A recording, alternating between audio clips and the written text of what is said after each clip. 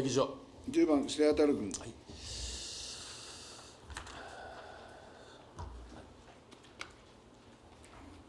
白谷太であります。何卒よろしくお願いをいたします。えー通告に従い、一問一答方式で質問及び提言をさせていただきます。えまず、冒頭に、えー新型コロナウイルスによる肺炎の感染症の拡大は、もはや対岸の火事では収まらなくなっております。県内各自治体の対応では、イベントや出張の自粛をはじめとして、小中高の臨時休校を余儀なくさせられた事態になっております。えっとこれにより、経済活動も大きく影響を受け、特に百貨店、飲食、観光、宿泊業界は、キャンセルが相次ぎ、死活問題となっております。えこのまま続くと、オリンピックの開催に影響することは必至であります。願わくは、一日も早く感染症の拡大が収束して、予定通りにオリンピックが開催されて、社会全体が好転して、にぎやかに活気づくことを願って質問に入ります。えまずはじめに、本市のオリンピックとの関わり方について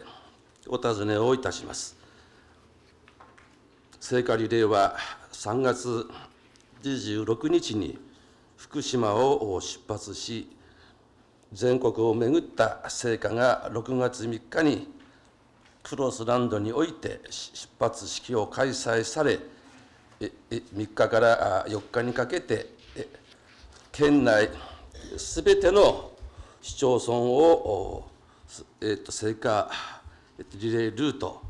全186名の方が走行するとのことでありますが、本市は出発式の運営や次のえ南砺市までのえ橋田交差点までの何区間、何人でリレーをするのか、聖火リレー車は決まっているのか、いつ公表するのか、市内の方は何人含んでいるのかを分かる範囲でお尋ねをいたします。市長、櫻井森生君。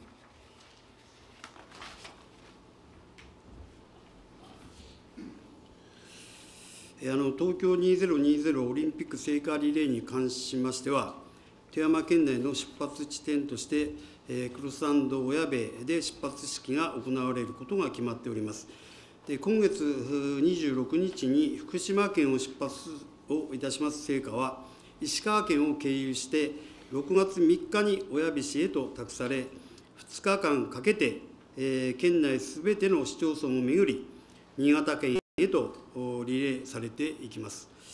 出発式及び聖火リレーにつきましては、公益財団法人東京2020オリンピック・パラリンピック競技大会組織委員会が中止とな中心となって、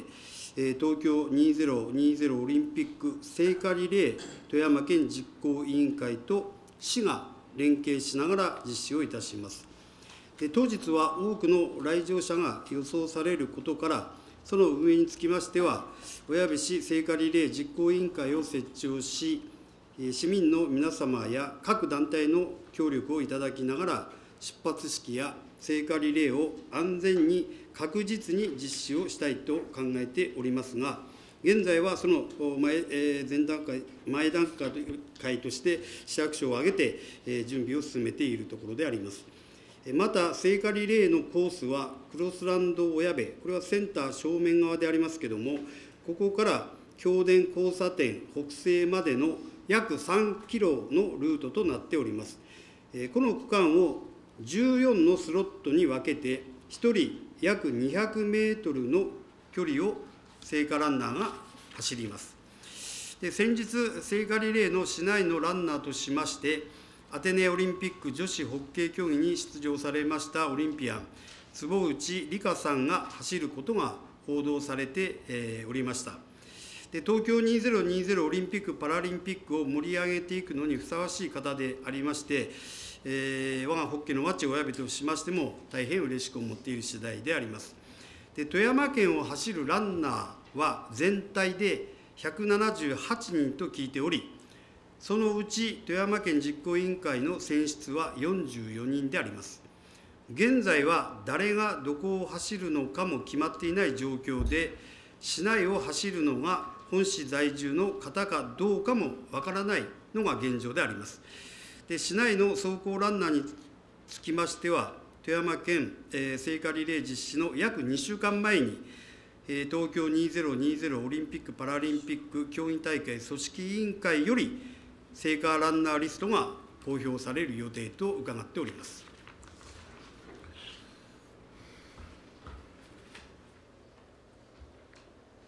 はい、以上。10番白当たる君はい。えー今ほどの説明でまだちょっと時間がかかるんだと発表はですね、まあ、そういうことでございますが、市内の皆様も非常に関心が高い、そして、なるべく走行したいという方もたくさんいらっしゃるやに聞いておりますので、なるべくなら市内の方を1名でも多く推薦をして、走って、聖火ランナーとして走っていただきたいなという思いであります。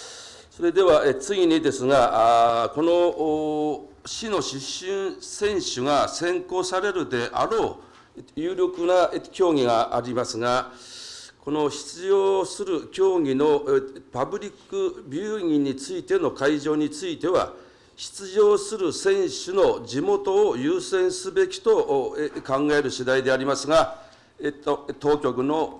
お考えをお尋ねいたします。市長桜井無良君まあ、これはあの県のホッケー協会、それから市のホッケー協会と協力しながら、地元からの応援が選手の力になるように、市民皆さんの集まりやすい場所で開催をさせていただきたいと考えております。まああのえー大きな画面で迫力あるプレーを期待し、えーこれは市を挙げてですね、選手諸君にエールを送りたいというふうに考えております。え以上。10番白当たる。君はい、えーこのお大きなあそのビューイングというのは、えーどれぐらいのサイズの大きさなんですか？市長桜井無良君。これから検討させていただきます。はい以上10番白当たる。君、はい。そうですか、えーいずれにしてもですね、えーその地元というところはですね体育協会はじめとして皆さんで、えー応援してあげようという、えーとそういう機運があの非常に高まっております。えーいずれにしても市民が一体となり、一人でも多く競技を観戦して、熱く応援して感動を共有していきたいと、このように考えております。それでは次の質問に入りたいと思います。次はですね、人口増対策の推進について、何点か質問、提言をさせていただきます。大きな問題として、1点目はですね、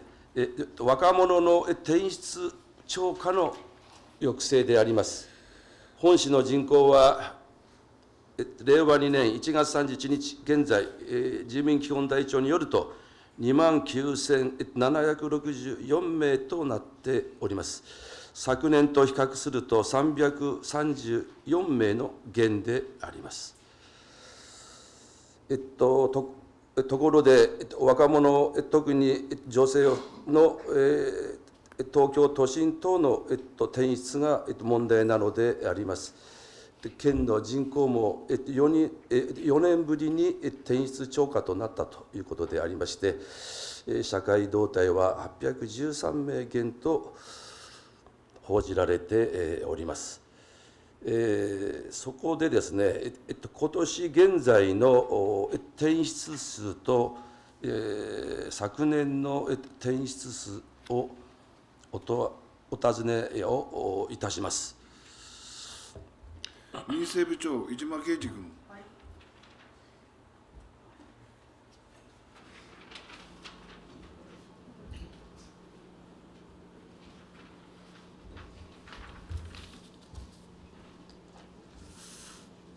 本市における転出数の前年対比についてのご質問でありますが、住民基本台帳における本市の転出数の状況につきましては、2018年は771人、2019年は793人となっており、2019年は前年に比べ22人の増となっております。また、16歳から34歳の若者の転出数の状況につきましては、2018年は475人で、うち女性は241人、2019年は446人で、うち女性は212人となっており、2019年は前年に比べ29人の減、うち女性も29人の減となっております。なお、16歳から34歳の若者の東京都への転出数の状況につきましては、2018年は28人で、うち女性が11人、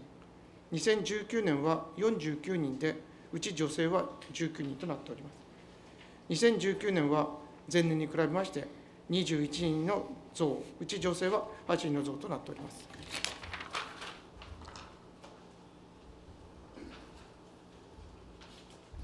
はい、議長。10番シアタル君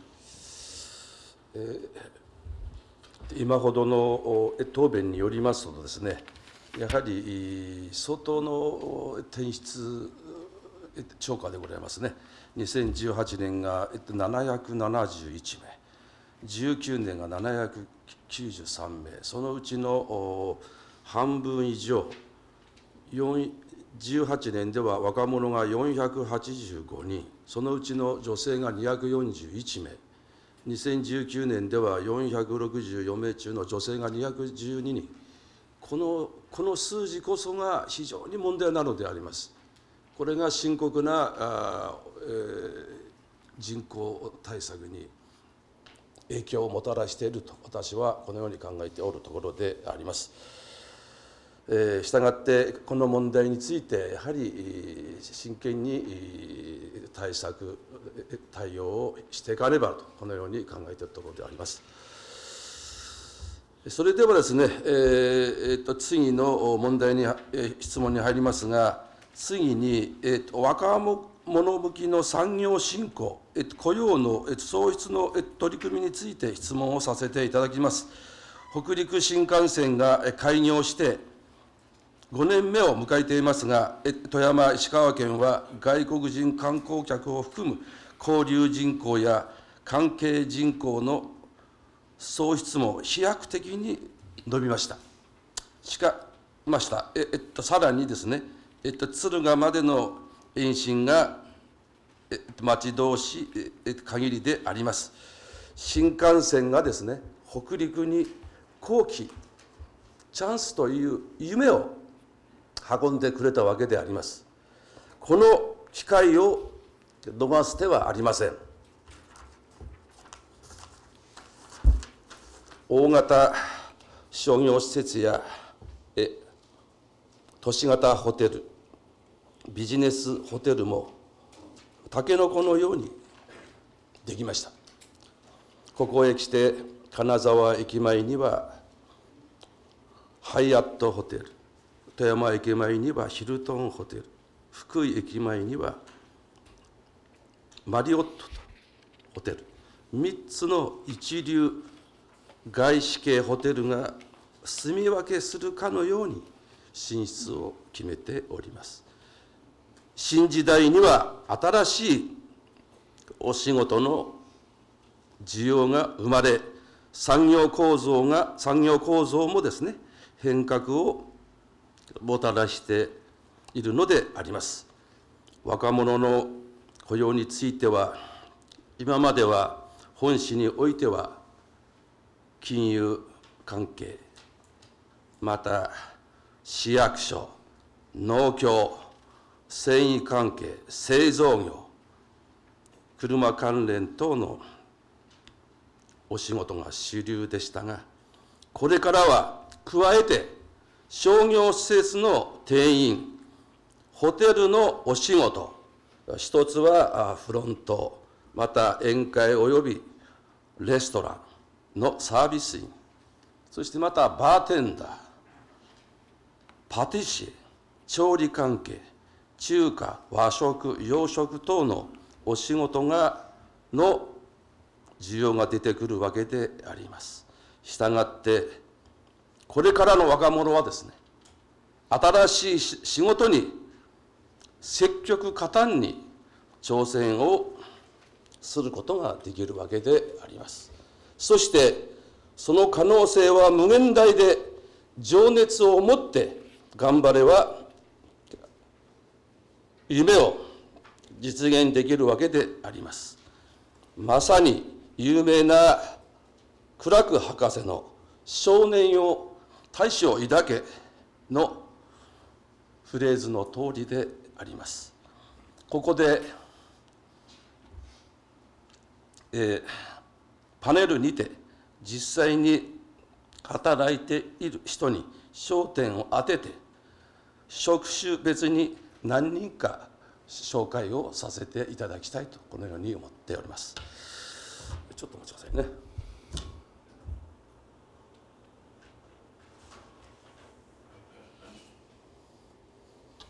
この写真はお分かりですか？先日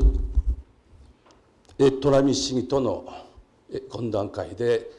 農作という今飛躍的に成長している会社へですね、えー、視察に行ってきた時の写真でありますがこの若者はですね、えー、最新最新機器を使って、えー、案内する我々にですね本当に詳しく説明をさせてくれました。えー、従来の、えー、動機、えー、そういう製品に加えてですね今今流行りのええっと鈴でしたか？の商品をですね説明してくれたわけです。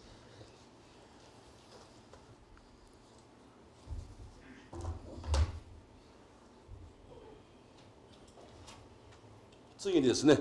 えー、とこの写真は皆さんご存知ですね、えー、とアウトレットモールでですね、えー、と靴屋の店長さんです、えー、私もたまに行くわけでございますが、えー、と開業からずっと、えー、店長をされているということでですね非常に頑張っておられました。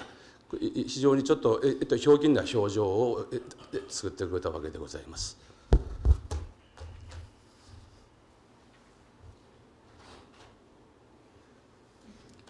次にこれはですね、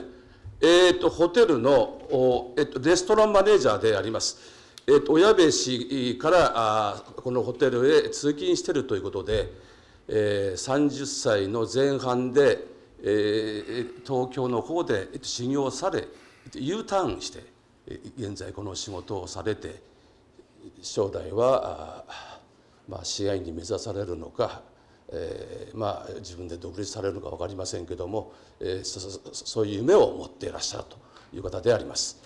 小矢部市在住ですよこれはね。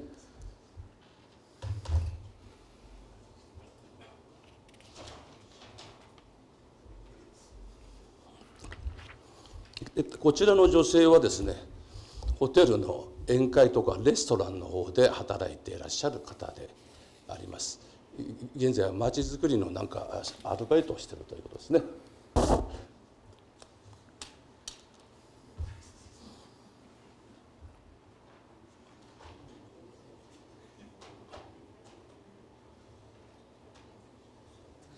えっと、この写真は皆さんお分かりですか、えーえっと、和食のえええ料理長ですね和食の料理長がですね、えっと、3.6機ののえーと、出世魚をですね、えーと、懸命にさばいている様子であります。これは、えーと、市内のホテルです。一生懸命頑張っておられますよ。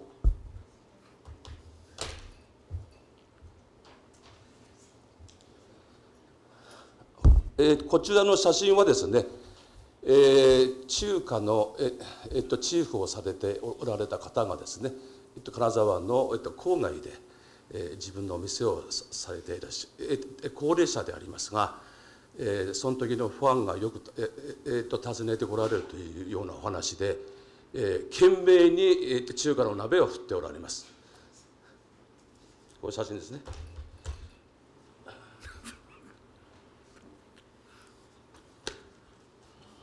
この方も、えー、とパティシエ、東京から U ターンをされて、え今現在あるホテルの、えー、と生活長をされていらっしゃいます。この方もえ U ターン組でございます。このように頑張っておられる方ですね。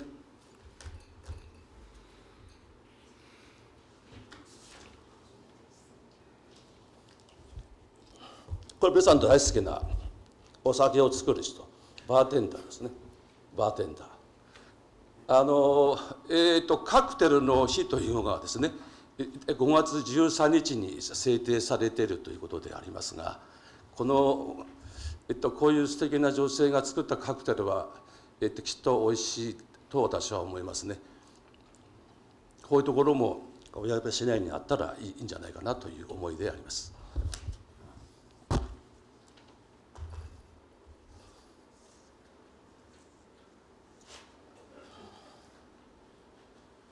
一番最後になりましたが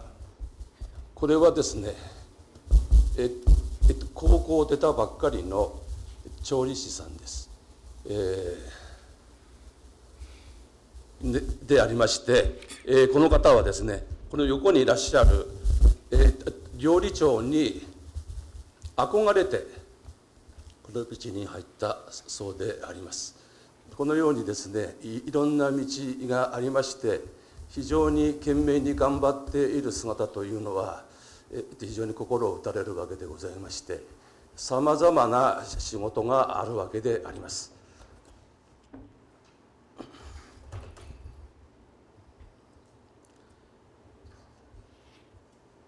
えー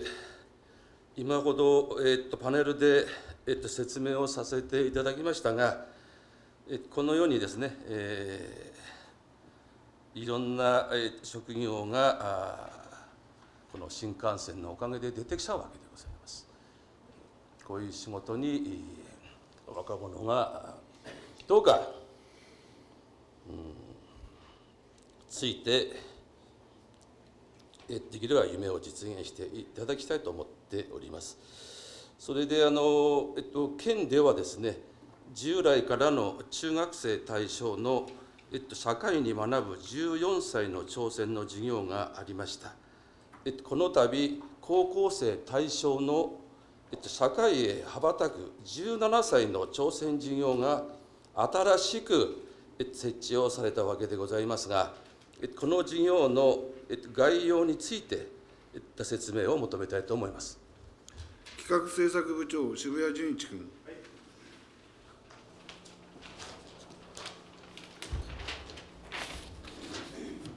今ほどはたくさんのパネルありがとうございました。それではご質問のありました社会へ羽ばたく17歳の挑戦事業についてでありますが、高校生のインターンシップのプログラムを充実させ、中学2年で定着している14歳の挑戦に続き、系統的なキャリア教育を展開し、職業観や社会参画の意識を育むことを目的に、今年度から県がえ実施している事業であります。なお、今年度実施されました17歳の挑戦事業につきましては、2事業ありました。1つ目は、アカデミックインターンシップ事業であり、大学等への進学を希望する普通系学科などのえー生徒に対し、富山大学、富山県立大学の大学研究室等と連携しまして、将来進む可能性のある学問分野に関連した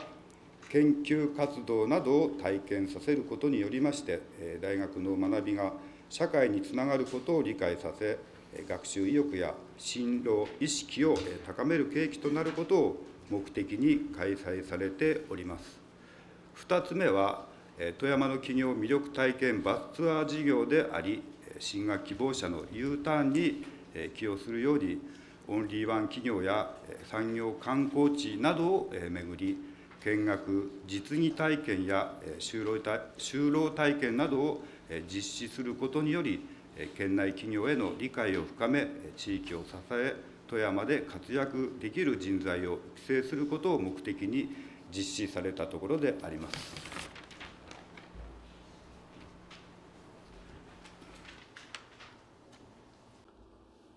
10番白井ある君今ほどはですね、えー高校生対象に社会へ羽ばたく17歳挑戦の事業の、えー概要の説明を、えー答弁をいただいたわけでございますが新しい時代に入ったわけですので高校生の学校の授業の一環として新しい職業紹介を取り入れて職業指導の説明を詳しくしてあげて適職につけるようにしてあげると同時に何らかの形で地元就職支援をしてあげることも必要ではありませんか？そうすることによって自宅からの通勤の仕方が可能になる県外への流出もいくらか抑制ができるのではないでしょうか。このことについて本市をはじめとして富山県駅連携推進協議会へ働きかけをしていただき提案をしていいただきたいのであります。え以上のことに対してえ当局の見解をお尋ねいたします。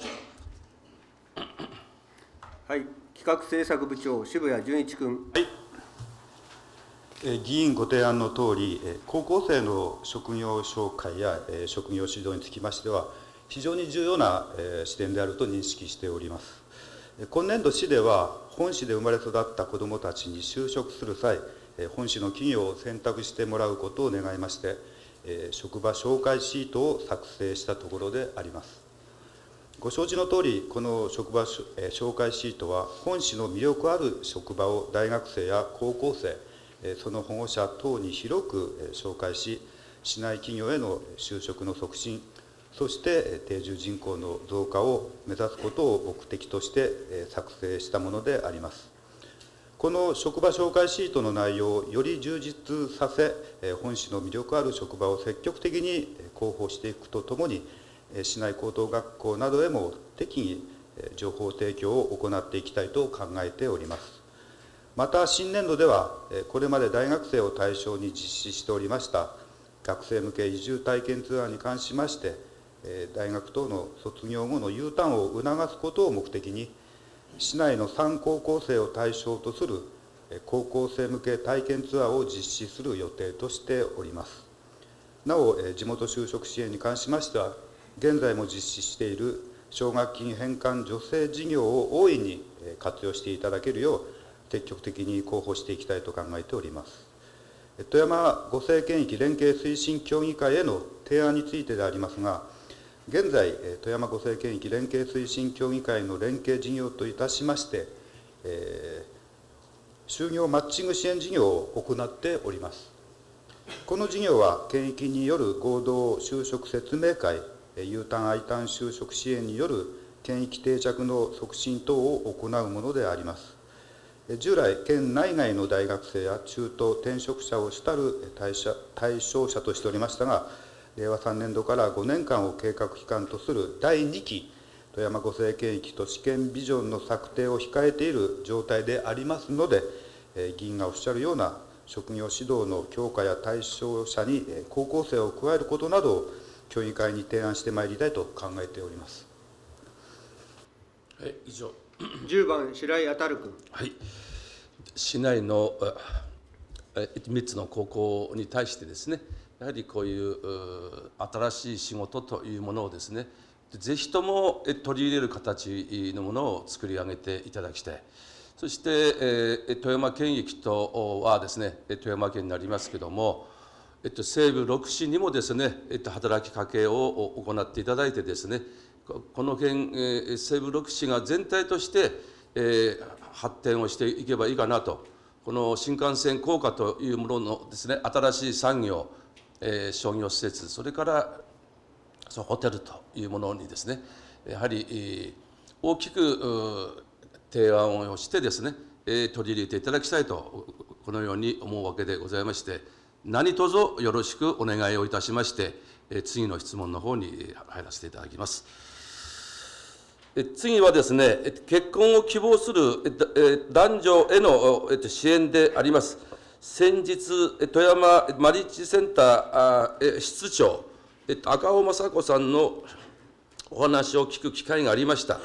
この会は5年半前に発足して、登録者は663名、うち男性が446名、女性が217名で、入会金は男女とも1万円だそうで、2年間有効であるとのことでした。なお、女性については、高岡あえ公益権事務組合では半額助成があり、5000円で、あります。お見合い件数は1708組で、カップル成立は804組で、成婚件数は今までの延べで60組だそうであります。特徴としては、婚活セミナーをした上でマッチングを実施していることでありました。えところで、親部縁結びの外交について、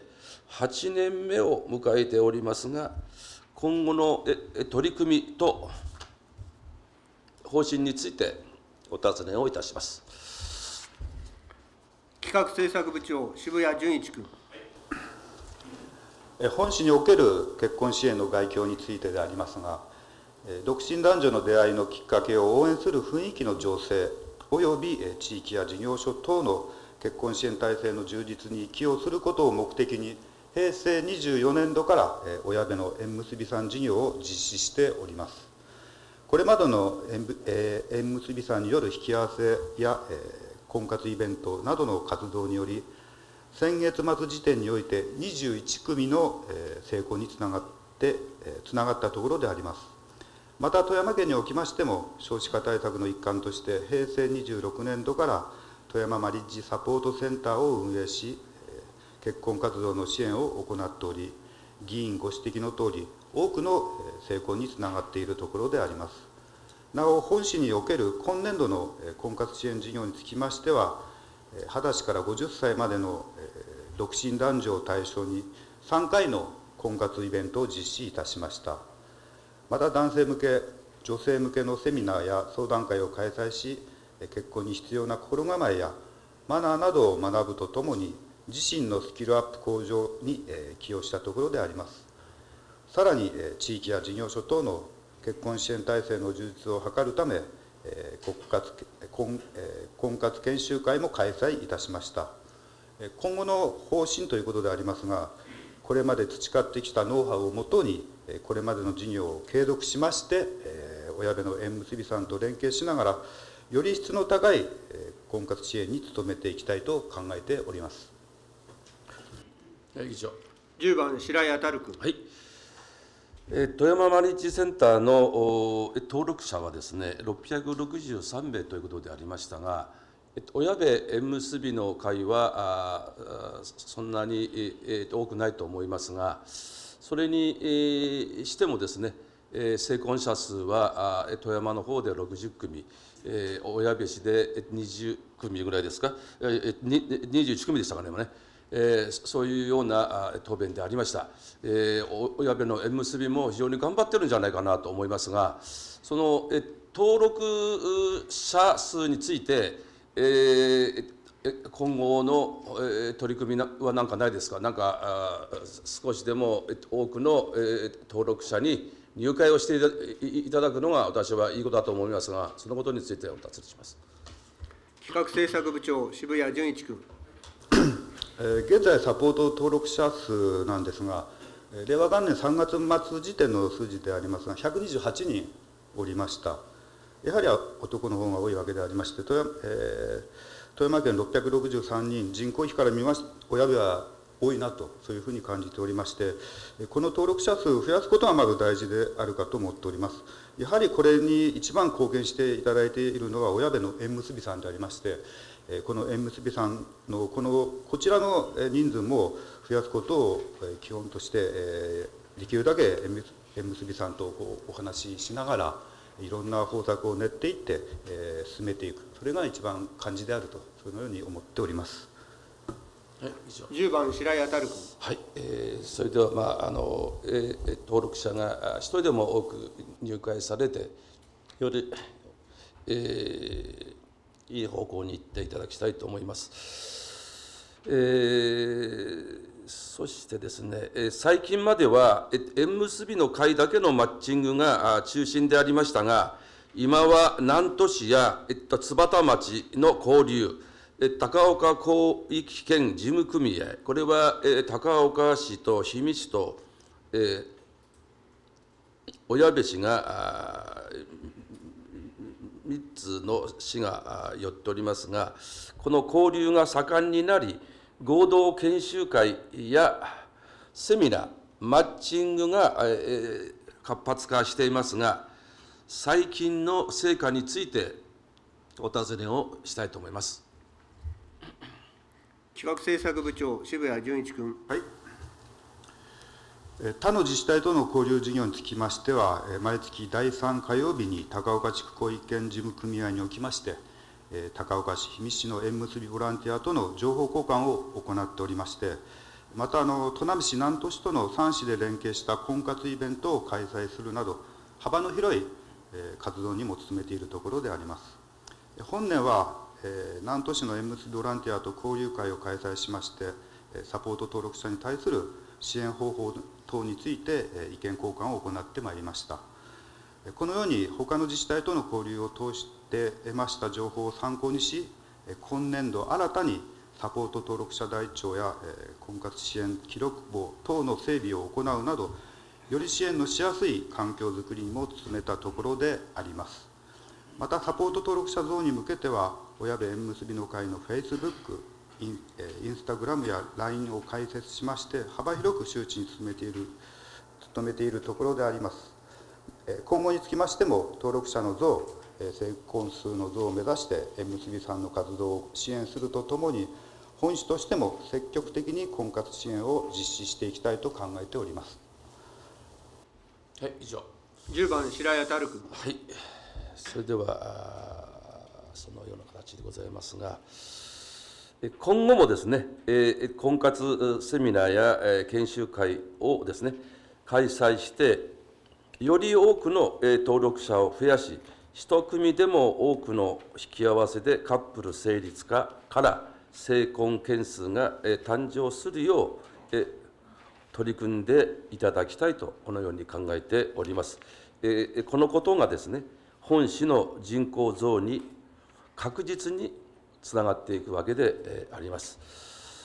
それでは次の質問に入りますが、もう一点はですね、晩婚化、晩産化、未婚化が進行した結果、2019年生まれの赤ちゃんの数が、過去最小の86万4千人だったと、厚労省の発表がありました。本市の場合も昨年1月から12月までの出生数が142人となり、2001年以降で最小であったとの説明を聞きました。えこれだけ出生数が減れば大きな問題であります。え当局はこの問題の原因と実効性のある、見込みのあるえ対策やえ取り組みについて、えどのようにお考えなのか、あ見解をお尋ねいたします。企画政策部長、渋谷純一君。え議員ご指摘のとおり、2019年の日本人国内出生数は86万4千人と、1899年の統計開始以来、初めて90万人を下回りました。出生数の急減の要因として最も大きいものは、出産期の女性が減少したことによるものと言われております。また、ライフスタイルの多様化などにより、晩婚化、未婚化が急速に進行していると言われていることから、ライフプラン教育の充実や結婚を希望する男女の出会いの場の創出が求められているとともに、ワーク・ライフ・バランスの推進による多様で柔軟な働き方などの啓発が必要であると考えております。このことから本市では、結婚活動の支援に積極的に取り組むとともに、イクボス事業所の登録推進も行っているところであります。また出生率の低下につきましては、お子さんを持つことを希望していても、何らかの原因でなかなかかなわないご夫婦に対しましては、不妊治療費助成金交付事業および不育症治療費助成金交付事業の実施や、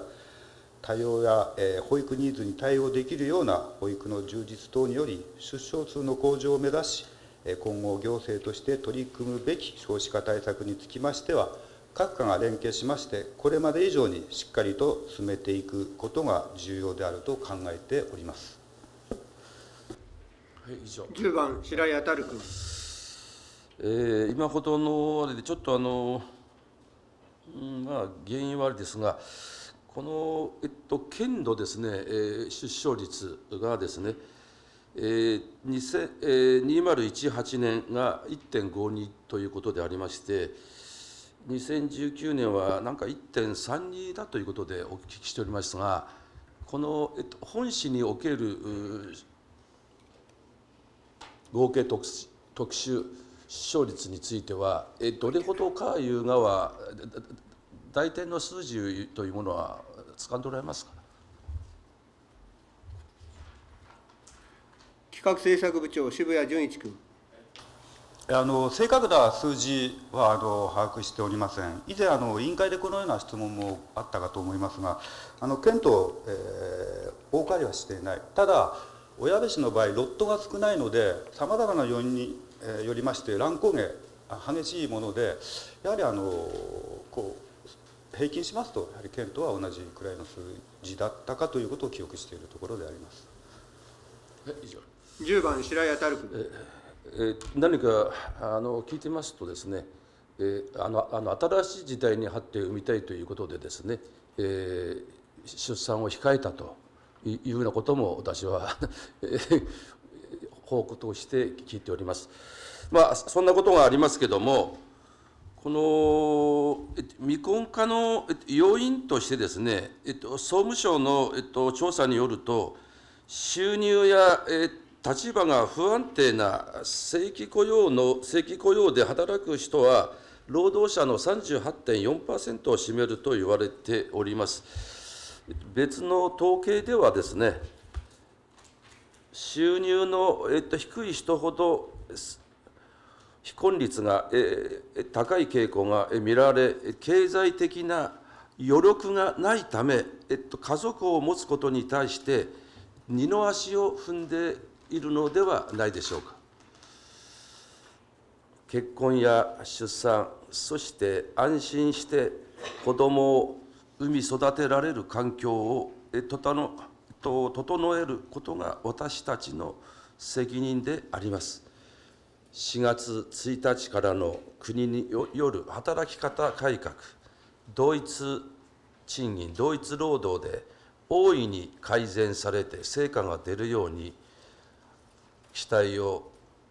する次第でありますが、最後に今後の推移を見なくては分かりませんが、当局に民間を含む働き方改革について、どのように反映されて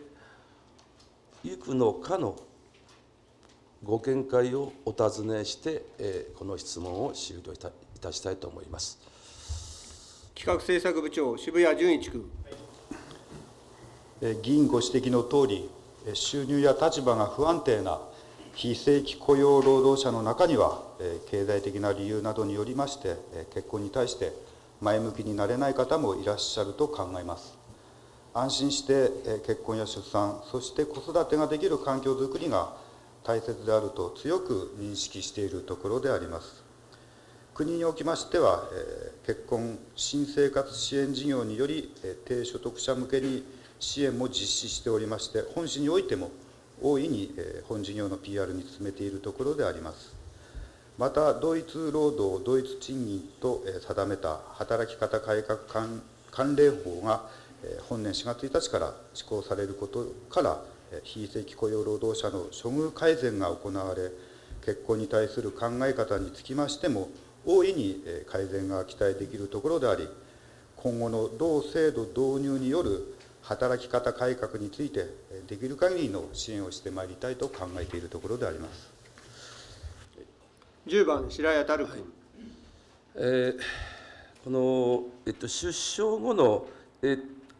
子育てえー支援についてはですね、えー十分だと私は思っておりますが、本市においても、この